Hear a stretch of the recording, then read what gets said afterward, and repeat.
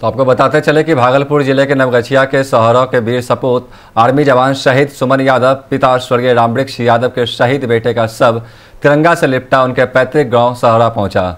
शहीद सुमन यादव की झलक पाने के लिए भीड़ उमड़ पड़ी, हर कोई उनके शहादत की खबर पाकर स्तब्ध रह गया। शहीद के सम्मान में भारत माता की जय, वीर सपूत अमर रहे, नम आँखों से नारा गूंजता रहा। शहीद का पार्थिव शरीर उनके घर पहुँचने के बाद उनके परिजन बदहवास हो गए और उनका रो रो कर बुरा हाल हो गया। शहीद के पार्थिव शरीर को पूरे गाँव में भ्रमण कराने के बाद राजकीय सम्मान के साथ अंतिम विदाई दी गई।